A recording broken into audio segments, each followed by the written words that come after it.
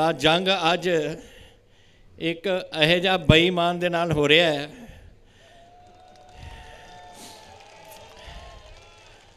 ਜਿਹਨੂੰ ਥੱਲਾ ਦਿਖਾਉਣਾ ਬਹੁਤ ਜ਼ਰੂਰੀ ਹੈ ਹੰਕਾਰੀ ਬੰਦਾ ਹੈ ਔਰ ਉੱਪਰ ਬੈਠਾ ਹੈ ਇਸ ਵੇਲੇ। ਇਹ ਮੈਂ ਤੁਹਾਨੂੰ ਦੱਸ ਦੇਣਾ ਹੈ, ਇਹ ਜਿਹੜੇ ਬਾਦਲ ਨੇ ਨਾ, ਚਾਹੇ ਵੱਡਾ ਹੋਏ, ਚਾਹੇ ਇਹ ਹੋਣ, ਇਸ ਤੋਂ ਬਾਅਦ ਖੁਸ਼ੀ ਦੀ ਇਹ ਗੱਲ ਮੈਂ ਤੁਹਾਨੂੰ ਦੱਸ ਚੱਲਿਆ ਕਿ ਅੱਜ ਤਾਂ ਮੈਂ ਇਹਦੇ ਵਾਸਤੇ ਆਇਆ। ਅੱਜ ਰਾਤ ਨੂੰ ਮੈਂ ਜਾ ਰਿਹਾ ਉਧਰ ਔਰ ਬੀਬੀ ਵਾਸਤੇ। ਉਹ ਪੁੱਛੋ ਦੇ ਵਿੱਚ ਮੈਂ ਸਾਡਾ ਅੱਜ ਜਲਸਾ ਹੈ ਬਠਿੰਡੇ 'ਚ। ਤੇ ਇਹ ਜ਼ਰੂਰੀ ਹੈ ਕਿ ਇਹ ਜੇ ਲੋਕ ਜਿਹੜੇ ਪੰਜਾਬ ਨੂੰ ਵਰਤਦੇ ਰਹੇ ਆਪਣੇ ਵਾਸਤੇ, ਲੋਕਾਂ ਦੇ ਵਾਸਤੇ ਨਹੀਂ, ਲੋਕਾਂ ਨੇ ਇਹਨਾਂ ਨੂੰ ਵੋਟਾਂ ਪਾਈਆਂ ਸੀਆਂ, ਹਕੂਮਤ ਦਿੱਤੀ, ਤਾਕਤ ਦਿੱਤੀ ਕਿ ਉਹ ਤਾਕਤ ਪੰਜਾਬ ਦੀ ਬਿਹਤਰੀ ਵਾਸਤੇ ਲਾਉਣ। ਲੇਕਿਨ ਵਰਤੀ ਕਿੱਥੇ ਇੱਕ ਇੱਧਰ ਹੋਟਲ ਬਣਾ ਦਿਓ ਇੱਕ ਉਧਰ ਹੋਟਲ ਬਣਾ ਦਿਓ ਇੱਕ ਇੱਧਰ ਹੋਟਲ ਬਣਾ ਦਿਓ ਲੁੱਟੀ ਚੱਲੋ ਦੁਨੀਆ ਨੂੰ ਆਹ ਤਰੀਕਾ ਨਹੀਂ ਹੁੰਦਾ ਕੁਝ ਔਰ ਅੱਜ ਮੈਨੂੰ ਗਵਾਇਆ ਸਾਹਿਬ ਨੇ ਦੱਸ ਰਹੇ ਨੇ ਕਿ ਇੱਥੋਂ ਉਹਨਾਂ ਦੇ ਟੈਲੀਫੋਨ ਆ ਕੇ ਧਮਕੀਆਂ ਦਿੰਦੇ ਨੇ ਧਮਕੀ ਦੇਖੇ ਦੇਖ ਕੇ ਦੇਖਣ ਗਵਾਇਆ ਸਾਹਿਬ ਜੀ ਨੂੰ ਇਹ ਧਮਕੀ ਦਿੰਦੇ ਨੇ ਮੈਨੂੰ ਉਹ ਉਹ ਜਰਾ ਬੰਦੇ ਦਾ ਨਾਮ ਦੱਸ ਦਿਓ ਔਰ ਦੱਸ ਦਿਓ ਕਿੱਥੇ ਧਮਕੀ ਆਈ ਹੈ ਇਹ ਬਾਦਲਾਂ ਨੂੰ ਸਿੱਧਾ ਕਰਨਾ ਮੈਨੂੰ ਆਉਂਦਾ ਹੈ।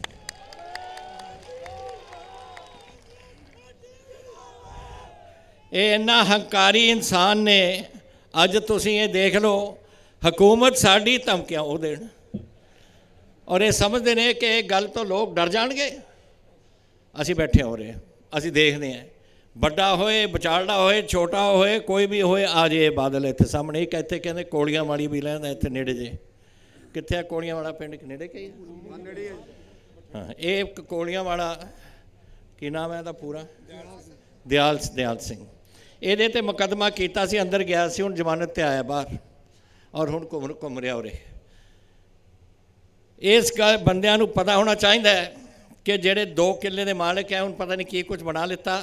ਇਹ ਸਾਰੀ ਲੁੱਟ ਇਹਨਾਂ ਦੀ ਕੱਢਾਂਗੇ ਅਸੀਂ ਕਿਸੇ ਨੂੰ ਨਹੀਂ ਛੱਡਦੇ ਅਸੀਂ। ਚਾਹੇ ਬਾਦਲ ਹੋਣ, ਚਾਹੇ ਕੋੜੀਆਂ ਵਾਲਾ ਹੋਏ, ਚਾਹੇ ਇਹਨਾਂ ਦੇ ਕੋਈ ਹੋਰ ਜਿਹੜੇ ਹੋਏ ਲੰਬੂ ਕੌਣ ਹੈ? ਹਾਂ? ਉਹ ਮਜੀਠਾ। ਉਹ ਮਜੀਠਾ ਤਾਂ ਬਸ ਉਹੀ, ਉਹ ਫालतू ਦੇ ਤੌਰ ਤੇ ਭੱਜਾ ਫਿਰਦਾ ਹੁੰਦਾ ਹੈ। ਉਹ ਬੋਲਦਾ ਬਾੜਾ ਹੈ, ਆਉਂਦਾ ਉਹਨੂੰ ਘੱਟ ਹੈ। ਔਰ ਮੈਂ ਤੁਹਾਨੂੰ ਉਹਨੂੰ ਚੰਗੀ ਤਰ੍ਹਾਂ ਜਾਣਦਾ ਹੈ। ਮੈਂ ਤੁਹਾਨੂੰ ਦੱਸਾਂ, ਇਹਦੇ ਪਿਤਾ ਜੀ ਉੱਥੇ ਪਟਿਆਲੇ ਰਹਿੰਦੇ ਸੀ, ਜਦ ਇਹਨੂੰ, ਇਹਨਾਂ ਦੇ ਪਿਤਾ ਜੀ ਇਹਦੇ ਦਾਦਾ ਜੀ ਨੇ ਉਹਨਾਂ ਨੂੰ ਘਰ ਤੋਂ ਘਰ ਤੋਂ ਬਾਹਰ ਕੱਢਤਾ ਸੀ। ਤੇ ਪਟਿਆਲੇ ਰਹਿਣ ਲੱਗੇ ਕਿਉਂਕਿ ਇਹਨਾਂ ਦੇ ਰਿਸ਼ਤੇਦਾਰੀ ਨਾਭੇ ਵਿੱਚ ਸੀ।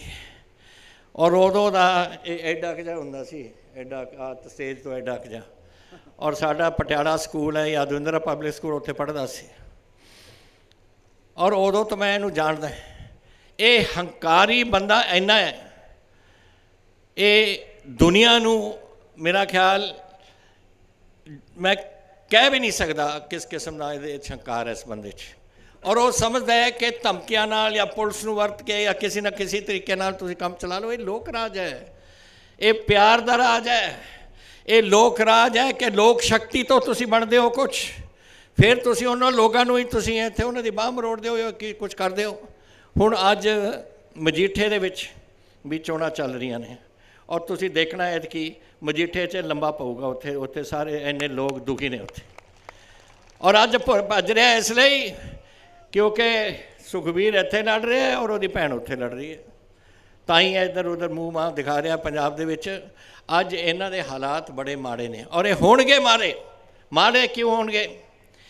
ਜਿਹੜੀ ਤੁਸੀਂ ਬੇਅਦਬੀ ਦੇ ਵਿੱਚ ਪੈ ਗਏ ਨਾ, ਗੁਰੂ ਗ੍ਰੰਥ ਸਾਹਿਬ ਦੀ ਬੇਅਦਗੀ ਗੀਤਾ ਦੇ ਪੰਜ ਤੁਸੀਂ ਗ੍ਰੰਥ ਫਾੜਤੇ, ਕੁਰਾਨ ਸ਼ਰੀਫ ਦੇ ਤੁਸੀਂ ਫਾੜਤੇ, ਤੇ ਤੁਸੀਂ ਬਾਈਬਲ ਜੋ ਈਸਾਈਆਂ ਦੀ ਹੈ, ਉਹ ਵੀ ਤੁਸੀਂ ਫਾੜ ਦਿੱਤੀ ਕਿਉਂ? ਕਿਉਂਕਿ ਤੁਸੀਂ ਚਾਹੁੰਦੇ ਸੀ ਕਿ ਸਮਾਜ ਟੁੱਟੇ ਸਮਾਜ ਟੁੱਟੇ ਔਰ ਸਿੱਖ ਇੱਕ ਪਾਸੇ ਹੋਣ ਔਰ ਉਹ ਸਿੱਖ ਜਾ ਕੇ ਤੁਹਾਡੀ ਵੋਟ ਤੁਹਾਨੂੰ ਪਾਉਣ ਅਕਾਲੀ ਦਲ ਨੂੰ। ਇਹ ਸੀ ਇਹਨਾਂ ਦੀ ਸੋਚ। 113 ਗ੍ਰੰਥ, ਧਾਰਮਿਕ ਗ੍ਰੰਥ ਇਹਨਾਂ ਦੇ ਬਾਦਲ ਦੇ ਸਮੇਂ ਦੇ ਵਿੱਚ ਫਾੜੇ ਗਏ ਨੇ। ਸਾਡੇ ਟਾਈਮ 'ਚ ਇੱਕ ਵੀ ਨਹੀਂ ਫਾੜਿਆ ਗਿਆ। ਇਹ ਜਿਹੜੀਆਂ ਗੱਲਾਂ ਕਰਦੇ ਨੇ ਨਾ ਨਾ, ਰੱਬ ਵੀ ਹੈ ਇੱਕ ਉੱਪਰ। ਇਹਨਾਂ ਨੂੰ ਭੁਗਤਣਾ ਪਊ। ਇਸ ਦੇ ਵਾਸਤੇ ਲੋਕਾਂ ਨੇ ਇੱਥੇ ਬਾਈਬਲ ਕਲਾਮ ਵਿੱਚ ਬਹਿ ਕੇ ਰੋਸ ਦਾ ਪ੍ਰਗਟਾਵਾ ਕੀਤਾ, ਪੁਲਿਸ ਭੇਜਤੀ, ਆਪਣੀਆਂ ਗੋਲੀਆਂ ਮਾਰ ਦਿਓ ਅਗਲੇ ਸਵੇਰੇ ਮੈਂ ਉੱਥੇ ਪਹੁੰਚਿਆ ਸੀ। ਦੋ ਬੰਦੇ ਮਰ ਗਏ। ਦੋ ਬੰਦਿਆਂ ਦੇ ਰੀੜ ਦੇ ਹੱਡੀ ਦੇ ਵਿੱਚ ਦੀ ਗੋਲੀ ਲੰਘੀ। ਉਹਨਾਂ ਦਾ ਲੱਕ ਤੋਂ ਥੱਲੇ ਟੰਗਾਂ ਨਹੀਂ ਚੱਲਦੀਆਂ। ਇੱਕ ਮੈਨੂੰ ਬਾਬਾ ਜੀ ਨੇ ਦਿਖਾਇਆ, ਇੱਥੇ ਗੋਲੀ ਵੱਜੀ, ਅੱਧਾ ਇਹਨਾਂ ਦਾ ਹੱਥ ਲੈ ਕੇ ਟੁੱਟ- ਗੋਲੀ ਨੇ ਪਾਰ ਕਰਤਾ। ਉਂਗਲੀਆਂ ਕੱਟੀਆਂ ਗਈਆਂ। ਇਸ ਦੇ ਕੁਝ ਲੱਗੀ ਹੈ ਕੋਈ ਤਰੀਕਾ ਹੈ ਕੰਮ ਕਰਾਉਣ ਦਾ? ਇਹ ਤਰੀਕਾ ਹੈ ਕਿ ਜਿਹੜੇ ਬਹਿ ਕੇ ਉੱਥੇ ਆਪਣੇ ਨਾਮ ਜਪ ਰਹੇ ਨੇ ਰੱਬ ਦਾ ਉੱਥੇ ਜਾ ਕੇ ਤੁਸੀਂ ਬਗੈਰ ਪੁੱਛੇ ਤੁਸੀਂ ਗੋਲੀਆਂ ਫਾਇਰ ਕਰ ਦੋ ਇਹਨਾਂ ਨੇ ਫਿਰ ਦਿਖਾਵਾ ਕੀਤਾ। ਇੱਕ ਜ਼ੋਰਾ ਸਿੰਘ ਕਮਿਸ਼ਨ ਬਿਠਾਈ ਉਹ ਜਿਹੜੀ ਰਿਪੋਰਟ ਆਈ ਉਹਨਾਂ ਨੇ ਰੱਦ ਕਰਤੀ। ਫਿਰ ਅਸੀਂ ਰਣਜੀਤ ਸਿੰਘ ਕਮਿਸ਼ਨ ਬਿਠਾਇਆ ਔਰ ਉਹ ਅਸੈਂਬਲੀ ਦੇ ਵਿੱਚ ਪਾਸ ਹੋਇਆ ਪੇਸ਼ ਹੋਇਆ ਔਰ ਪਾਸ ਹੋਇਆ। ਅਕਾਲੀ ਕਹਿੰਦੇ ਅਸੀਂ ਨਹੀਂ ਮੰਨਦੇ। ਫਿਰ ਅਸੀਂ ਇੱਕ ਐਸਆਈਟੀ ਬਣਾਈ। ਮੰਨੇ ਹੋਏ ਪੁਲਿਸ ਅਫਸਰਾਂ ਦੀ ਕਿ ਇਹਦੀ ਇਨਵੈਸਟੀਗੇਸ਼ਨ ਕੀਤੀ ਜਾਵੇ। 600 ਬੰਦਿਆਂ ਤੱਕ ਅੱਜ ਉਹਨਾਂ ਨੇ ਇਨਵੈਸਟੀਗੇਸ਼ਨ ਕੀਤੀ ਹੈ। ਔਰ ਇਹ ਹੁਣ ਜੈਸੇ ਹੀ ਸਿਰੇ ਪਹੁੰਚ ਰਹੀ ਸੀ, ਆਪਣੇ ਪਾਰਟੀ ਰਾਹੀਂ ਜਿਹੜੇ ਬੀਜੇਪੀ ਦੇ ਇਹਨਾਂ ਦੇ ਸਮਰਥਕ ਨੇ, ਉਹਨਾਂ ਦੇ ਰਾਹੀਂ ਇਲੈਕਸ਼ਨ ਕਮਿਸ਼ਨ ਦੇ ਦੋ- ਦਬਾਅ ਪਾ ਕੇ ਇੱਕ ਸਾਡਾ ਆਈਜੀ ਜਿਹੜਾ ਇਨਵੈਸਟੀਗੇਟ ਕਰ ਰਿਹਾ ਸੀ, ਉਹਦੀ ਛੁੱਟੀ ਕਰਾਤੀ ਉੱਥੋਂ। ਇਹ ਸੁਣ ਲੈਣੇ ਬਾਦਲੀਏ ਇੱਕ ਦੋ ਹਫ਼ਤੇ ਤੁਸੀਂ ਵਿਚਾਲੇ ਆਪਣੇ। ਜਿੱਦੇ ਨੇ ਕੋਡ ਆਫ ਕੰਡਕਟ ਜਾਊ, ਉਹਦੇ ਨਹੀਂ ਕਵਰ ਵਿਜੇ ਪ੍ਰਤਾਪ ਸਿੰਘ ਬਾਹਰ ਆਊਗਾ, ਕਮੇਟੀ ਦੇ ਵਿੱਚ ਆਊਗਾ। ਔਰ ਉਹ ਕਮੇਟੀ ਆਪਣੀ ਰਿਪੋਰਟ ਦਿਓ, ਮੈਨੂੰ ਨਹੀਂ ਦਿਓਗੀ। ਇਹ ਜਿਹੜੀ ਐਸਆਈਟੀ ਬੈਠੀ ਹੈ, ਉਹ ਦਿਓਗੀ ਆਪਣੀ ਕਮੇਟੀ ਦੀ ਰਿਪੋਰਟ ਅਦਾਲਤ ਦੇ ਵਿੱਚ। ਔਰ ਉੱਥੇ ਅਸੀਂ ਇਲੈਕਸ਼ਨ ਲੜਾਂਗੇ। ਔਰ ਚਾਹੇ ਬਾਦਲ ਹੋਏ ਚਾਹੇ ਛੋਟੇ ਤੋਂ ਛੋਟਾ ਹੋਏ, ਜਿਨ੍ਹਾਂ ਨੇ ਇਸ ਬੇਅਦਬੀ ਦੇ ਵਿੱਚ ਹੱਥ ਪਾਇਆ ਇੱਕ ਬੰਦੇ ਨੂੰ ਮੈਂ ਛੱਡਾਂਗਾ ਨਹੀਂ ਮੈਂ ਤੁਹਾਨੂੰ ਅੱਜ ਦੱਸਣਾ ਚਾਹੁੰਦਾ ਸ਼ਰਮ ਆਉਣੀ ਚਾਹੀਦੀ ਹੈ ਲੋਕ। ਦੇਖਿਆ ਨਹੀਂ ਪੰਜਾਬ ਦੇ ਵਿੱਚ ਕੀ ਰਿਹਾ, ਇਹ ਬੱਚਿਆਂ ਨੂੰ ਨਹੀਂ ਪਤਾ। ਲੇਕਿਨ 20 ਸਾਲ ਪੰਜਾਬ ਦੇ ਵਿੱਚ 35000 ਪੰਜਾਬੀਆਂ ਦਾ ਖੂਨ ਡੁੱਲਿਆ ਇੱਥੇ। ਫਿਰ ਵੀ ਇਹਨਾਂ ਨੂੰ ਕੋਈ ਪਰਵਾਹ ਨਹੀਂ ਹੈ। ਕਰੀ ਚੱਲੋ, ਜਿਹੜਾ ਕੁਝ ਕਰੀ ਚੱਲਣਾ ਤੁਸੀਂ ਤਾਂ ਕਿ ਸਮਾਜ ਟੁੱਟੀ ਜਾਏ। ਸਮਾਜ ਜੋੜਨ ਦੀ ਗੱਲਾਂ ਹੁੰਦੀਆਂ ਨੇ, ਇਹ ਤੋੜਨ ਦੀਆਂ ਗੱਲਾਂ ਕਰਦੇ ਨੇ। ਇਹ ਗੱਲਾਂ ਕਦੇ ਵੀ ਰੱਬ ਨੇ ਮਾਫ ਨਹੀਂ ਕਰਨੀਆਂ ਔਰ ਨਾ ਲੋਕਾਂ ਨੇ ਮਾਫ ਕਰਨੀਆਂ ਨੇ। ਤੁਹਾਡੇ ਸਾਹਮਣੇ ਆਉਣੀ ਹੈ ਚੋਣ, ਤੁਸੀਂ ਫੈਸਲਾ ਕਰਨਾ ਹੈ ਔਰ ਵਾਹਿਗੁਰੂ ਕਰੇ, ਬੰਦਿਆਂ ਨੂੰ ਜੋੜੋ ਤੁਸੀਂ। ਜੋੜ ਕੇ ਆਪਾਂ ਮਜ਼ਬੂਤੀ ਨਾਲ ਇੱਥੇ ਫਿਰ ਇਹਨਾਂ, ਇੱਥੇ ਦਿੱਲੀ ਦੇ ਵਿੱਚ ਇੱਕ ਹਕੂਮਤ ਬਣਾਈ ਹੈ ਕਿਉਂਕਿ ਇਹੀ ਹੋ ਰਿਹਾ ਸੈਂਟਰ ਦੇ ਵਿੱਚ।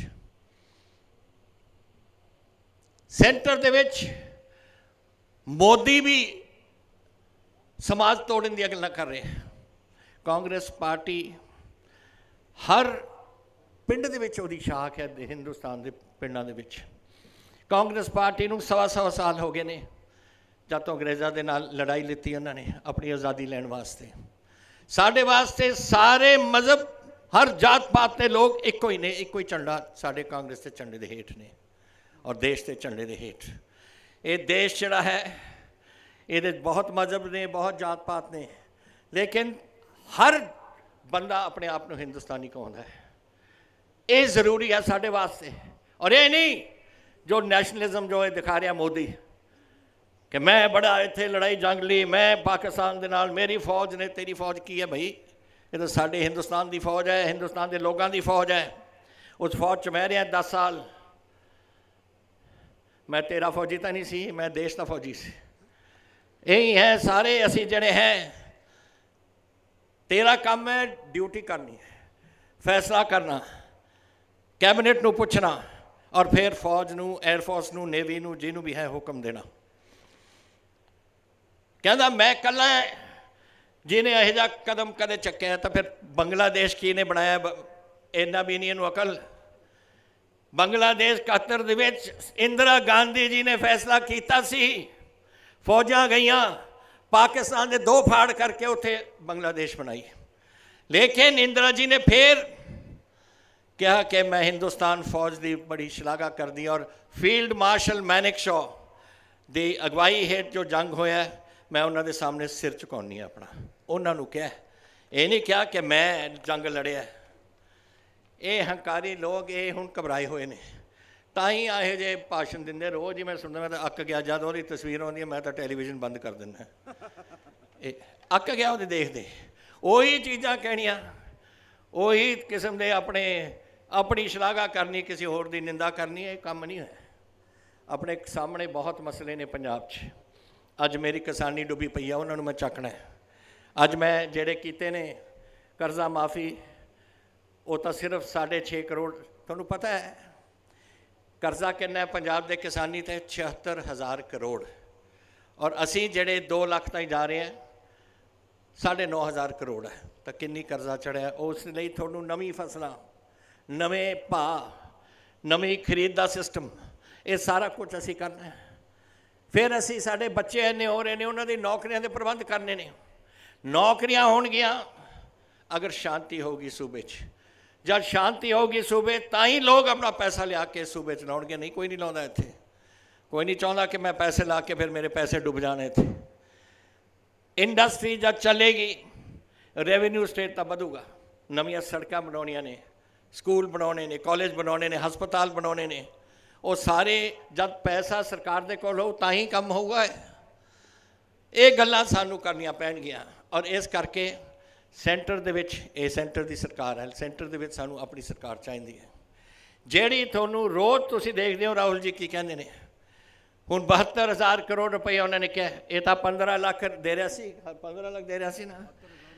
ਕਿ ਜਦੋਂ ਅਸੀਂ ਆਵਾਂਗੇ, ਮੋਦੀ ਕਹਿੰਦਾ ਸੀ ਕਿ 15 ਲੱਖ ਰੁਪਈਆ ਹਰ ਬੰਦੇ ਦੇ ਖਾਤੇ ਦੇ ਵਿੱਚ ਪੈ ਜੂ। ਕਿੱਧਰ ਗਿਆ ਉਹ 15 ਲੱਖ ਬਈ? ਤੂੰ ਤਾਂ ਕਿਹਾ ਸੀ ਕਿ ਲੈ ਕੇ ਆਏਗਾ ਔਰ ਪਾਏਗਾ। ਅਸੀਂ ਕਹੇ ਸਾਡੇ ਰਾਹੁਲ ਜੀ ਨੇ ਕਿ ਹਰ ਬੰਦੇ ਨੂੰ ਕਮ ਸੇ ਕਮ 72000 ਰੁਪਏ ਸਾਲ ਦਾ ਅਸੀਂ ਦੇਣ ਨੂੰ ਅਸੀਂ ਤਿਆਰ ਬੈਠੇ ਹਾਂ। ਇਹ ਜੋ ਅਸਲੀਅਤ ਹੈ, ਜੋ ਸਹੀ ਗੱਲਾਂ ਨੇ ਉਹੀ ਕਰੋ, ਝੂਠ ਬੋਲਣ ਦਾ ਕੀ ਫਾਇਦਾ ਤੁਹਾਨੂੰ? ਜਦ ਤੁਹਾਨੂੰ ਪਤਾ ਸੀ ਨਹੀਂ ਕਰਨਾ, ਸਿਰਫ ਵੋਟਾਂ ਖਿੱਚਣ ਵਾਸਤੇ। ਇਹ ਤਰੀਕਾ ਨਹੀਂ ਕੁਝ ਹੁੰਦਾ। ਤੋਂ ਅੱਜ ਸਾਡੇ ਸਾਹਮਣੇ ਬਹੁਤ ਮਸਲੇ ਨੇ, ਦੇਸ਼ ਦੇ ਮਸਲੇ ਨੇ। ਦੇਸ਼ ਨੂੰ ਆਪਾਂ ਨੇ ਇੱਕ ਦੇਸ਼ ਦੇ ਵਿੱਚ ਅਸੀਂ ਮਜ਼ਬੂਤੀ ਲਿਆਉਣੀ ਹੈ। ਦੇਸ਼ ਦੇ ਵਿੱਚ ਸਮਾਜ ਨੂੰ ਮਜ਼ਬੂਤ ਕਰਨਾ ਹੈ। ਦੇਸ਼ ਦੇ ਵਿੱਚ ਹਰ ਹਿੰਦੁਸਤਾਨੀ ਜੋ ਵਸਦਾ ਹੈ, ਉਹਦਾ ਆਪਾਂ ਨੇ ਭਵਿੱਖ ਦੇਖਣਾ ਹੈ, ਉਹਨਾਂ ਦੇ ਬੱਚਿਆਂ ਦਾ ਭਵਿੱਖ ਦੇਖਣਾ ਹੈ। ਔਰ ਇਹ ਚੋਣ ਇਸ ਵਾਸਤੇ ਲੜੀ ਜਾ ਰਹੀ ਹੈ। ਮੈਂ ਜਾਣਦਾ ਚਾਹੇ ਸੈਂਟਰ ਦੀ ਚੋਣ ਹੋਏ, ਫਿਰ ਵੀ ਆਪਣੇ ਘਰੇਲੂ ਗੱਲਾਂ ਆ ਜਾਂਦੀਆਂ ਨੇ ਵਿੱਚ। ਮੇਰੇ ਵਾਅਦੇ ਤੁਹਾਡੇ ਨਾਲ ਕੀਤੇ ਹੋਏ ਨੇ, ਸਾਡੇ ਮੈਨੀਫੈਸਟੋ ਦੇ ਵਿੱਚ 2 ਸਾਲ ਹੋਏ ਨੇ।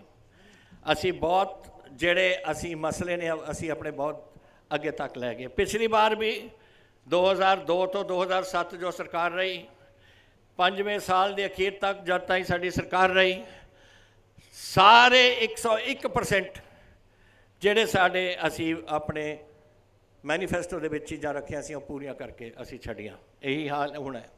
ਆਹਿਸਤਾ ਆਹਿਸਤਾ ਜਾ ਰਿਹਾ। ਤੁਸੀਂ ਮੈਨੂੰ ਮੈਨੂੰ ਪੁੱਛਦੇ ਨੇ ਬੱਚੇ, ਸਾਡੇ ਟੈਲੀਫੋਨ ਕਦੋਂ ਦੇਵੋਗੇ ਜੀ? ਅਗਲਾ ਟੈਲੀਫੋਨ ਆ ਰਿਹਾ ਹੈ। ਅਗਲੇ ਟੈਲੀਫੋਨ ਦੇ ਵਿੱਚ, ਸਾਡੇ ਅਸੀਂ, ਸਾਡੇ 10 ਲੱਖ ਟੈਲੀਫੋਨ ਮੰਗਾਉਣੇ ਨੇ ਬਾਹਰੋਂ, ਇੱਥੇ ਤਾਂ ਹਿੰਦੁਸਤਾਨ 'ਚ ਇਹਨੇ ਵੰਡਦੇ ਨਹੀਂ। ਔਰ ਅਸੀਂ ਸਵਾ 3 ਲੱਖ ਜਾਂ 3.5 ਲੱਖ ਦੇ ਟੈਂਡਰ ਲਾ ਚੁੱਕੇ ਆ ਉਹਨਾਂ ਨੇ ਆ ਜਾਣਾ ਔਰ ਜਦ ਇਹ ਕੋਡ ਉੱਠ ਜਾਣੀ ਹੈ, ਅਸੀਂ ਵੰਡਣਾ ਸ਼ੁਰੂ ਕਰ ਦੇਣਾ ਇਹ ਸਾਡੇ ਕੋਡ ਇਹਨੂੰ ਤਿੰਨ ਕੁ ਮਹੀਨੇ ਹੋ ਗਏ ਨੇ, ਸਾਡੇ ਖਤਮ ਹੋਏ ਨੂੰ ਆਪਣੇ ਜਿਹੜੇ ਟੈਂਡਰ ਨੇ। ਤੋਂ ਇਹ ਸਾਰੀਆਂ ਗੱਲਾਂ ਅਸੀਂ ਆਹਿਸਤਾ ਆਹਿਸਤਾ ਕਰਨੀਆਂ ਨੇ। ਪਹਿਲਾਂ ਕਿਸਾਨੀ ਨੂੰ ਦੇਖਣਾ ਹੈ ਫਿਰ ਬੱਚਿਆਂ ਦੀ ਨੌਕਰੀਆਂ, ਫਿਰ ਸਾਡੇ ਇੱਥੇ ਟੈਲੀਫੋਨ, ਫਿਰ ਹੋਰ ਜਿਹੜੇ ਮਸਲੇ ਨੇ ਸਾਡੇ ਸਾਹਮਣੇ, ਖੇਤੀਬਾੜੀ ਦੇ, ਹੋਰ ਚੀਜ਼ਾਂ ਦੇ, ਉਹ ਅਸੀਂ ਲਿਆਉਣੇ ਆ। ਕੁਝ ਕੁ ਦੇਣ ਪੰਜਾਬ ਅਤੇ ਪੰਜਾਬੀਆਂ ਦੇ ਦਿਲਾਂ ਦੀ ਧੜਕਣ, ਮਹਾਰਾਜਾ ਕੈਪਟਨ ਅਮਰਿੰਦਰ ਸਿੰਘ ਜੀ, ਉਹਨਾਂ ਦੇ ਨਾਲ ਸਾਡੇ ਬਹੁਤ ਹੀ ਸੀਨੀਅਰ ਸਾਬਕਾ ਪ੍ਰਧਾਨ, ਪੰਜਾਬ ਐਚਐਸ ਫੁਲਕਾ ਜੀ ਐਚਐਸ ਹੰਸਪਾਲ ਜੀ। ਉਹਨਾਂ ਦੇ ਨਾਲ ਸਾਡੇ ਕੈਬਨਿਟ ਦੇ ਮੰਤਰੀ Rana Gurmeet Singh ji Sodhi sahib, Shri Nathu Ram MLA sahib, Bibi Satkar Kaur MLA sahiba, Parminder Singh Pinky MLA sahib, Ajaypal Singh Bhatti MLA ਤੇ ਡਿਪਟੀ ਸਪੀਕਰ ਪੰਜਾਬ ਸਰਕਾਰ, ਸੰਦੀਪ ਜਾਖੜ ਜੀ ਮੋਹਨ ਸਿੰਘ ਫਲੀਆਂ ਵਾਲਾ ਸਾਹਿਬ ਮਹਤਾਬ ਸਿੰਘ ਸਾਬਕਾ ਐਮਐਲਏ ਕਰਨ ਕੌਰ ਬਰਾੜ ਜੀ ਹੰਸਰਾਜ ਜੋਸਨ ਸਾਹਿਬ Bibi Rajdeep Kaur Davinder Singh Kabaya MLA Fazilka Bhai ਹਰਪਨਰਪਾਲ Singh Kukku ex MLA Sukhdarshan Singh ji Marar Sahib ex MLA Ranjan Kamra ji Harcharan Singh, ਸੋਤਾ ਜ਼ਿਲ੍ਹਾ, ਪ੍ਰਧਾਨ ਮੁਕਤਸਰ, ਇੰਦਰਜੀਤ ਸਿੰਘ ਜੀ ਜੀਰਾ, ਸਾਬਕਾ ਐਮਐਲਏ ਕੌਸ਼ਲ ਬੂਕ ਜੀ, ਮਲਕੀਤ ਸਿੰਘ ਜੀ ਹੀਰਾ ਸਾਡੇ ਅੱਜ ਪਾਰਟੀ ਜੁਆਇਨ ਕੀਤੇ ਬੀਬਾ ਰਾਜਦੀਪ ਕੌਰ ਜੀ, ਉਹਨਾਂ ਦੇ ਮਾਤਾ ਜੀ ਅਤੇ ਸਾਡੇ ਨੌਜਵਾਨ ਆਗੂ ਤੇ ਸਾਡੇ ਬਹੁਤ ਹੀ ਸਤਿਕਾਰਯੋਗ ਸ਼ੇਰਬਾਜ ਸਿੰਘ ਜੀ ਸਰਪੰਚ ਸਾਹਿਬ, ਓਮ ਪ੍ਰਕਾਸ਼, ਐਕਸ ਮਿਨਿਸਟਰ, ਪੰਜਾਬ ਅਤੇ ਹਲਕੇ ਪਰ ਤੋਂ ਆਏ ਮੇਰੇ ਬਹੁਤ ਹੀ ਸਤਿਕਾਰਯੋਗ ਵੀਰੋ, ਭੈਣੋ, ਨੌਜਵਾਨ ਸਾਥੀਓ, ਕਾਂਗਰਸ ਦੇ ਜੁਝਾਰੂ ਵੀਰੋ, ਸਟੇਜ ਤੇ ਬਿਰਾਜਮਾਨ ਦਰਜਾ ਬਦਰਜਾ ਆਗੂ ਸਹਿਬਾਨ ਅਤੇ ਪ੍ਰੈਸ ਵਾਲੇ ਵੀਰ, ਪਤਵੰਤੇ, ਸੱਜਣੋ, ਫਤਿਹ ਅਰਜ਼ ਕਰਦਾ ਵਾਹਿਗੁਰੂ ਜੀ ਕਾ ਖਾਲਸਾ, ਸ੍ਰੀ ਵਾਹਿਗੁਰੂ ਜੀ ਕੀ ਫਤਿਹ।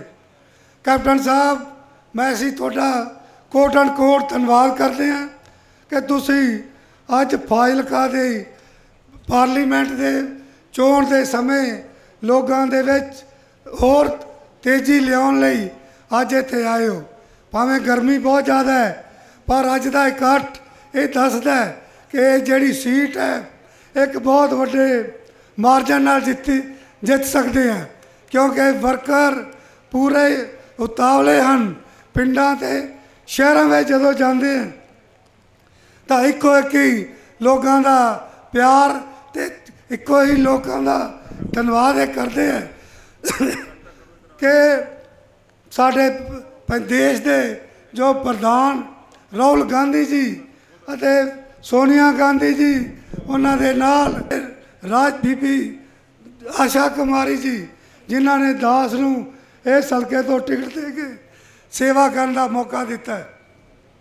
ਸੋ ਕੈਪਟਨ ਸਾਹਿਬ, ਗੱਲਾਂ ਇਸ ਇਲਾਕੇ ਦੀਆਂ ਜੋ ਮੁਸ਼ਕਲਾਂ ਉਹਦੇ ਬਹੁਤ ਹਨ, ਪਰ ਅੱਜ ਅਸੀਂ ਉਹਨਾਂ ਵਿੱਚ ਨਹੀਂ ਜਾਣਾ ਚਾਹੁੰਦੇ। ਮੈਂ ਤਾਂ ਇੱਕੋ ਹੀ ਬੇਨਤੀ ਕਰਨੀ ਚਾਹੁੰਦਾ, ਕਿਉਂਕਿ ਇੱਥੇ ਦੇ ਜਿਹੜੇ ਪਹਿਲਾਂ ਦੇ ਅਕਾਲੀ ਦਲ ਦੇ ਵਰਕਰ ਹਨ ਲੀਡਰ ਹਨ ਉਹ ਅੱਜ ਵੀ ਇੱਥੋਂ ਦੇ ਵਰਕਰਾਂ ਨੂੰ ਦਬਕੇ ਮਾਰ ਰਹੇ ਹੈ ਕਿ ਅਸੀਂ ਤੁਹਾਨੂੰ ਦੇਖ ਲਾਂਗੇ ਕਿ ਤੁਸੀਂ ਕਿਵੇਂ ਵੋਟ ਕਾਂਗਰਸ ਨੂੰ ਪਾਓਗੇ। ਕਿਉਂਕਿ ਅਜੇ ਤੱਕ ਉਹਨਾਂ ਦਾ ਮਨੋਬਲ ਜਿਹੜਾ, ਉਹ ਉਸੇ ਤਰ੍ਹਾਂ ਹੀ ਬਰਕਰਾਰ ਹੈ। ਇੱਕ ਤਾਂ ਮੇਰੀ ਇਹ ਬੇਨਤੀ ਹੈ ਕਿ ਇਹਨਾਂ ਜਿਹੜੇ ਅਕਾਲੀ ਦਲ ਦੇ ਆਗੂ ਇੱਥੇ ਘੁੰਮ ਰਹੇ ਹੈ, ਉਹਨਾਂ ਤੋਂ ਇਹਨਾਂ ਲੋਕਾਂ ਨੂੰ ਬਚਾਓ ਤੁਸੀਂ ਬਚਾ ਸਕਦੇ ਹੋ। ਦੂਜੀ ਬੇਨਤੀ ਹੈ ਕਿ ਕੈਪਟਨ ਸਾਹਿਬ, ਮੈਂ ਤੁਹਾਨੂੰ ਦਾਅਵੇ ਨਾਲ ਕਹਿ ਸਕਦਾ, ਤੁਸੀਂ ਇਹ ਇਲਾਜ ਤੁਸੀਂ ਕਰ ਸਕਦੇ ਹੋ। ਕਾਂਗਰਸ ਦੀ ਵੋਟ, ਕਿਉਂਕਿ ਥੋੜੇ ਬਹੁਤੇ ਕਿਸੇ ਦੇ ਗਿਲੇ ਸ਼ਿਕਵੇ ਕੋਈ ਤੁਰ ਨਹੀਂ ਰਹੇ। ਉਹਨਾਂ ਨੂੰ ਤੁਸੀਂ ਤਿਆਰ ਕਰਕੇ ਤੋਰ ਜਾਓਗੇ ਤਾਂ 2 ਲੱਖ ਤੋਂ ਵੱਧ ਵੋਟਾਂ ਦੇ ਨਾਲ ਇਹ ਪਾਰਲੀਮੈਂਟ ਦੀ ਸੀਟ ਜਿੱਤੀ ਜਾ ਸਕਦੀ ਹੈ। ਕਿਉਂਕਿ ਇਸ ਗੱਲ ਦਾ ਇਲਾਜ ਕਿਸੇ ਹੋਰ ਕੋਲ ਨਹੀਂ। ਉਹ ਕੱਲਾ ਤੇ ਕੱਲਾ ਤੁਹਾਡੇ ਕੋਲ ਹੈ ਕਿ ਤੁਸੀਂ ਉਹ ਕਿਵੇਂ ਕਰਨਾ ਹੈ। ਸੋ ਇਸ ਕਰਕੇ ਕੁਝ ਗੱਲਾਂ ਕੈਪਟਨ ਸਾਹਿਬ, ਇੱਥੇ ਜਿਹੜੀਆਂ ਜ਼ਰੂਰੀ ਹੈ, ਇੱਥੇ ਸਾਡੇ ਬਾਰਡਰ ਤੇ ਜਿਹੜੇ ਰਹਿ ਰਹੇ ਲੋਕ ਹੈ, ਆਪਣੀ ਸਰਕਾਰ ਹੈ। ਇੱਕ 2007 ਦੀ ਪਾਲਿਸੀ ਜਿਹੜੀ ਜ਼ਮੀਨ ਅਲਾਟ ਹੋਈ ਸੀ, ਉਹ ਕੈਂਸਲ ਹੋ ਗਈ ਸੀ। ਉਹ ਫਿਰ ਤੋਂ ਬਹਾਲ ਹੋ ਚੁੱਕੀ ਹੈ। ਉਹ ਲਾਗੂ ਨਹੀਂ ਹੋਈ। ਉਹ ਲਾਗੂ ਕਰਵਾ ਦਿਓ। ਤੇ ਪੂਰਾ ਬਾਰਡਰ ਮੈਂ ਦਾਅਵੇ ਨਾਲ ਕਹਿੰਦਾ ਕਿ ਇੱਕ ਵੀ ਵੋਟ ਕਿਤੇ ਪਾਸੇ ਨਹੀਂ ਜਾਏਗੀ। ਹੋਏਗਾ ਤਾਂ ਇਲੈਕਸ਼ਨ ਤੋਂ ਬਾਅਦ, ਪਰ ਉਹ ਵਾਅਦਾ ਤੁਸੀਂ ਇੱਥੇ ਕਰਕੇ ਜਾਓ। ਦੂਜਾ ਬਾਰਡਰ ਏਰੀਆ ਦੇ ਵਿੱਚ ਜੋ ਰਹਿਸ਼ੀ ਪਲਾਟ ਨੇ ਜਿਨ੍ਹਾਂ ਲੋਕਾਂ ਕੋਲ, ਉਹ ਸਰਕਾਰੀ ਜ਼ਮੀਨਾਂ ਤੇ ਬੈਠੇ ਹੈ। ਪਰ ਜਦੋਂ ਕੋਈ ਉਹਨਾਂ ਦਾ ਮਕਾਨ ਡਿੱਗ ਜਾਂਦਾ ਜਾਂ ਕੋਈ ਫਲੱਡ ਆ ਜਾਂਦਾ ਤਾਂ ਉਹਨਾਂ ਦੇ ਉਹ ਕੰਪਨਸੇਟ ਉਹਨਾਂ ਨੂੰ ਮਿਲ ਨਹੀਂ ਸਕਦਾ। ਇੱਕ ਉਹ ਵੀ ਜੇਕਰ ਸਾਰਾ ਆਰਡੀਨੈਂਸ ਜਾਰੀ ਹੋ ਚੁੱਕਿਆ ਹੈ, ਸਰਕੂਲਰ ਜਾਰੀ ਹੋ ਚੁੱਕਿਆ ਹੈ, ਉਹਨੂੰ ਸਿਰਫ ਲਾਗੂ ਹੀ ਕਰਨਾ ਹੈ, ਉਹ ਮਿਹਰਬਾਨੀ ਕਰਕੇ ਉਹਨੂੰ ਲਾਗੂ ਕੀਤਾ ਜਾਏ। ਤੀਸਰਾ ਇੱਥੇ ਸ਼ੂਗਰ ਮਿਲ ਦੇ ਜਿਹੜੇ ਕਿਸਾਨ ਵੀਰ ਨੇ, ਉਹਨਾਂ ਦੇ ਗੰਨੇ ਦੀ ਪੇਮੈਂਟ ਲੰਮੇ ਸਮੇਂ ਤੋਂ ਬਕਾਇਆ ਪਈ ਹੈ, ਉਹ ਜਿਹੜੀ ਪੇਮੈਂਟ ਹੈ, ਉਹ ਜਲਦੀ ਤੋਂ ਜਲਦੀ ਉਹ ਕਰਵਾਈ ਜਾਵੇ। ਤੀਜਾ, ਇੱਥੇ ਜਿਹੜੇ ਬਾਰਡਰ ਤੇ ਰਹਿ ਰਹੇ ਲੋਕ ਹੈ, ਸਰਕਾਰੀ ਸਕੂਲ ਜਿਹੜੇ ਕਿ ਬੜੇ ਪੁਰਾਣੇ ਸਮੇਂ ਤੋਂ ਚੱਲ ਰਹੇ, ਇੱਕ ਤਾਂ ਉਹਨਾਂ ਨੂੰ ਅਪਗ੍ਰੇਡ ਕਰਨ ਦੀ ਲੋੜ ਹੈ, ਦੂਜਾ ਉਹਨਾਂ ਦੇ ਵਿੱਚ ਸਟਾਫ ਭੇਜਣ ਦੀ ਲੋੜ ਹੈ। ਤੀਜੀ ਮੈਂ ਬੇਨਤੀ ਕਰਦਾ, ਕੈਪਟਨ ਸਾਹਿਬ, ਇੱਥੇ ਜਿਹੜੇ ਬਾਰਡਰ ਤੇ ਨੌਜਵਾਨ ਪੜ੍ਹੇ ਲਿਖੇ ਹੈ, ਉਹਨਾਂ ਦਾ ਜਿਹੜਾ ਐਜੂਕੇਸ਼ਨ ਸਟੈਂਡਰਡ ਉਹ ਦੂਜੇ ਏਰੀਏ ਦੇ ਨਾਲੋਂ ਬਹੁਤ ਪਿੱਛੇ ਹੈ ਫਿਜ਼ੀਕਲੀ ਬਹੁਤ ਤਗੜੇ ਹੈ। ਫਿਜ਼ੀਕਲੀ ਟੈਸਟ ਪਾਸ ਕਰ ਜਾਂਦੇ ਹੈ ਪਰ ਰਿਟਰਨ ਦੇ ਵਿੱਚ ਉਹ ਪਿੱਛੇ ਰਹਿ ਜਾਂਦੇ ਹੈ ਮੇਰੀ ਰਿਕੁਐਸਟ ਹੈ ਕਿ ਤੁਸੀਂ ਇਹ 5 ਕਿਲੋਮੀਟਰ ਦੇ ਪੱਟੀ ਵਿੱਚ ਜਿਹੜੇ ਨੌਜਵਾਨ ਨੇ, ਉਹਨਾਂ ਦਾ ਅਲੱਗ ਤੌਰ ਤੇ ਟੈਸਟ ਲੈ ਕੇ ਉਹਨਾਂ ਨੂੰ ਸਰਕਾਰੀ ਫੋਰਸਾਂ ਦੇ ਵਿੱਚ ਡਿਸਪਲਿਨ ਫੋਰਸ ਕਿਤੇ ਵੀ ਜਿੱਥੇ ਥਰਡ ਕਲਾਸ ਦੀ ਨੌਕਰੀ ਦੇ ਵਿੱਚ ਉਹ ਲਾਗੂ ਕਰਾਓ, ਤਾਂ ਕਿ ਇਹਨਾਂ ਲੋਕਾਂ ਨੂੰ ਉਹ ਰਾਹ ਮਿਲ ਸਕੇ। ਜਿਸ ਕਰਕੇ ਮੈਂ ਅਖੀਰ ਵਿੱਚ ਫਿਰ ਤੁਹਾਡਾ ਧੰਨਵਾਦ ਕਰਦਾ ਕਿ ਕੈਪਟਨ ਸਾਹਿਬ, ਅੱਜ ਜਿਹੜਾ ਤੁਸੀਂ ਇੱਥੇ ਇੱਕ ਜੋ ਲੋਕ ਦਬਕੇ ਮਾਰਦੇ ਫਿਰਦੇ ਹੈ ਗੁੰਮਰਾਹ ਕਰਦੇ ਫਿਰਦੇ ਹੈ ਇੱਕ ਸਾਡੇ ਹਲਕੇ ਦਾ ਸਾਬਕਾ ਐਮਐਲਏ ਹੈ ਉਹ ਸ਼ਰੇਆਮ ਲੋਕਾਂ ਨੂੰ ਦਬਕਾਉਂਦਾ ਹੈ ਕਿ ਕੰਮ ਤਾਂ ਮੈਂ ਆਉਂਗਾ ਤੁਹਾਡੇ, ਇਹਨਾਂ ਨੇ ਕੁਝ ਕਰ ਨਹੀਂ ਸਕਣਾ ਤੇ ਵੋਟਾਂ ਤੁਸੀਂ ਪਾਉਣ ਨਾ ਜਾਓ। ਉਹਦੇ ਬਾਰੇ ਵੀ ਸਪਸ਼ਟ ਇੱਥੇ ਅੱਜ ਸਟੇਜ ਤੋਂ ਕਹਿ ਕੇ ਜਾਓ ਕਿ ਉਸ ਬੰਦੇ ਦੇ ਤੁਸੀਂ ਕੀ ਉਹਦਾ ਇਲਾਜ ਕਰਨਾ ਹੈ? ਮੈਂ ਤਾਂ ਬੇਨਤੀ ਕਰਦਾ ਕਿ ਉਹਨੂੰ ਇਹੋ ਜਿਹੇ ਲੀਡਰਾਂ ਨੂੰ ਪਾਰਟੀ ਵਿੱਚੋਂ ਬਾਹਰ ਕੱਢਣ ਦੀ ਲੋੜ ਹੈ। ਇਸ ਤੋਂ ਘੱਟ ਕੋਈ ਉਹਦਾ ਗੁਜ਼ਾਰਾ ਨਹੀਂ ਹੋ ਸਕਦਾ। ਇਸ ਕਰਕੇ ਮੈਂ ਖੀਰ ਵਿੱਚ ਤੁਹਾਡਾ ਫਿਰ ਇੱਥੇ ਆਇਆਂ ਦਾ ਬਹੁਤ ਬਹੁਤ ਧੰਨਵਾਦ ਕਰਦਾ ਕਿ ਤੁਸੀਂ ਅੱਜ ਇੱਥੇ ਇਸ ਫਾਈਲਕਾ ਵਿੱਚ ਆਏ ਹੋ ਤੇ ਇਲਾਕੇ ਵੱਲੋਂ ਮੈਂ ਤੁਹਾਡਾ ਫਿਰ ਕੋਟਨ ਕੋਟ ਧੰਨਵਾਦ ਕਰਦਾ। ਸਾਨੂੰ ਵਿਸ਼ਵਾਸ ਹੈ ਕਿ ਅੱਜ ਤੁਸੀਂ ਇੱਥੇ ਪੂਰਾ ਇਲਾਜ ਕਰਕੇ ਜਾਓਗੇ, ਲੋਕਾਂ ਨੂੰ ਪੂਰੀ ਹੌਸਲਾ ਦੇ ਕੇ ਜਾਓਗੇ, ਤਾਂ ਕਿ ਇਹ ਲੋਕ ਤਕੜੇ ਹੋ ਕੇ ਉੱਠ ਕੇ ਕਾਂਗਰਸ ਦੀ ਸਾਰੀ ਜੇ ਵੋਟ ਪੈ ਜਾਂਦੀ ਹੈ, ਤਾਂ ਮੈਂ ਤੁਹਾਨੂੰ ਦਾਵਾ ਪਹਿਲਾਂ ਵੀ ਕੀਤਾ ਦੁਬਾਰਾ ਕਰਦਾ ਕਿ ਉਹਨਾਂ ਦੀ ਇੱਥੇ ਕਿਤੇ ਦਰੀ ਨਹੀਂ ਵੇਚ ਸਕਦੀ ਇਹਨੀਆਂ ਬੇਨਤੀਆਂ ਦੇ ਨਾਲ ਫਿਰ ਅਖੀਰ ਤੁਹਾਡਾ ਧੰਨਵਾਦ। ਵਾਹਿਗੁਰੂ ਜੀ ਕਾ ਖਾਲਸਾ। ਸਾਰੇ ਲੀਡਰਾਂ ਦਾ ਵੀ ਧੰਨਵਾਦ। ਵਾਹਿਗੁਰੂ ਜੀ ਕਾ ਖਾਲਸਾ। ਵਾਹਿਗੁਰੂ ਜੀ ਕੀ ਫਤਿਹ। ਸੀਐਮ ਸਾਹਿਬ ਸੀਐਮ ਸਾਹਿਬ ਇੱਕ ਮਿੰਟ ਮੇਰੀ ਬੇਨਤੀ ਮੇਰੇ ਵੱਲ ਸਾਰੇ ਧਿਆਨ ਕਰੋ ਪ੍ਰਧਾਨ ਜੀ ਜਰਾ ਸਾਈਡ ਤੇ ਹੋ ਜਾਓ। ਬਈ ਸਾਰੇ ਜਿੰਨੇ ਤੁਸੀਂ ਬੈਠੇ ਹੋ ਜਾਂ ਇੱਥੇ ਲੀਡਰਸ਼ਿਪ ਬੈਠੀ ਹੈ ਸਟੇਜ ਤੇ 2 ਮਿੰਟ ਹੈ ਜੇ ਬੋਲਣਾ ਸੀਐਮ ਸਾਨੂੰ। ਇਹ ਆਪਾਂ ਸੀਟ ਜਿੱਤਣੀ 1 ਲੱਖ ਵੋਟ ਤੇ। ਪਰ ਇੱਕ ਗੱਲ ਮੈਂ ਤੁਹਾਡੇ ਤੋਂ ਵਾਅਦਾ ਲੈਣਾ ਚਾਹਣਾ ਅੱਜ ਕਿ ਆਪਾਂ ਆਪ ਦੀ ਸਰਪੰਚੀ ਦੇ ਇਲੈਕਸ਼ਨ 'ਚ ਆਪਾਂ ਆਪਦੇ ਐਮਐਲਏ ਦੇ ਇਲੈਕਸ਼ਨ 'ਚ ਸਵੇਰੇ 4 ਵਜੇ ਉੱਠਨੇ ਆ, ਰਾਤ ਨੂੰ 11 ਵਜੇ ਸੌਂਦੇ ਆ। ਪਰ ਅੱਜ ਵਾਅਦਾ ਕਰੋਗੇ ਤੁਸੀਂ ਸਾਰੇ ਜਿਹੜੇ ਪਨਾਲ 'ਚ ਬੈਠੇ ਹੋ ਕਿ ਸਵੇਰੇ 5 ਵਜੇ ਤੋਂ ਲੈ ਕੇ ਰਾਤ ਦੇ 10 ਵਜੇ ਤੱਕ ਕੰਮ ਕਰਾਂਗੇ ਕਰੋਗੇ ਵਾਅਦਾ? ਕਰੋ ਹੱਥ ਥੱਲੇ ਕਰਾਂ ਜੇ। ਆ ਸਟੇਜ ਤੇ ਬੈਠੇ ਨੇ ਜਿਹੜੇ, ਇਹਨਾਂ ਨੂੰ ਮੈਂ ਕਰਾਂਗਾ। ਮੈਂ ਸੌਣ ਪਾਉਣ ਲੱਗਾ ਸਾਰਿਆਂ ਲਈ। ਸੌ ਜੇ ਤੁਹਾਨੂੰ ਜਿਹੜਾ ਹੱਥ ਜਿਹਨੇ ਉਹ ਖੜਾ ਕਰਿਆ ਜੇ ਜਿਹਨੇ ਸਾਫ਼ ਨਿਯਤ ਦੇ ਨਾਲ ਮਿਹਨਤ ਕਰਨੀ ਹੈ 5 ਵਜੇ ਤੋਂ ਰਾਤ ਤੇ 11 ਵਜੇ ਤੱਕ। ਦੂਜਾ ਬਿਲਕੁਲ ਨਾ ਕਰਿਆ ਜੇ ਕਿ ਰੱਬ ਦੀ ਸਹੁੰ ਹੈ ਤੁਹਾਨੂੰ। ਜੇ ਮਿਹਨਤ ਨਾ ਕਰੋ, ਮੈਂ ਜਕਾਰਾ ਛੱਡਦਾ ਜਕਾਰੇ ਨਾਲ ਆਵਾਜ਼ ਦੇਣੀ ਹੈ।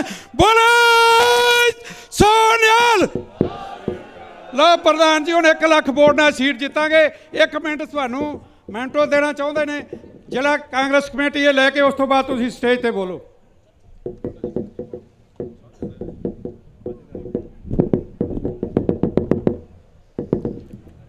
ਅਜਾਖਰ ਸਾਹਿਬ, ਤੁਹਾਡੇ ਨਾਲ ਸਿਮਰਜੀਤ ਆਏ ਨੇ, ਇਹਨਾਂ ਨੂੰ ਅੱਗੇ ਲੈ ਜਾਓ ਤੇ ਸੀਐਮ ਸਾਹਿਬ ਨੂੰ ਮਿਲਾਓ।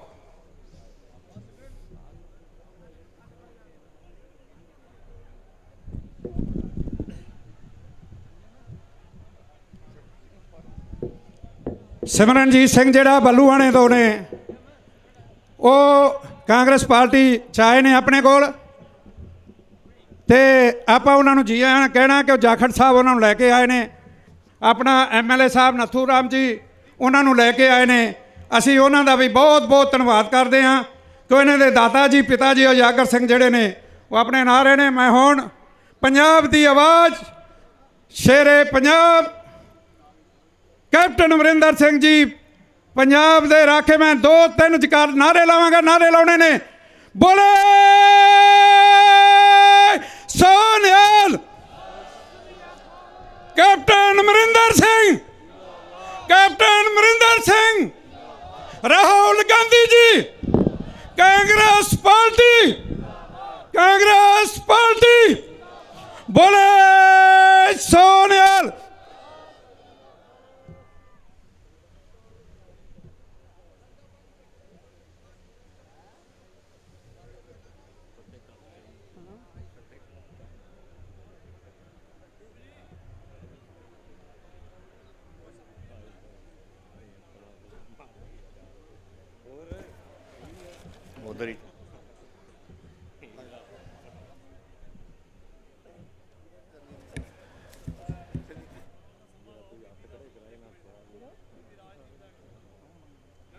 ਆ ਰਹੀ ਸਰ ਆ ਰਹੀ ਸਰ ਸਰ ਸਰ ਆ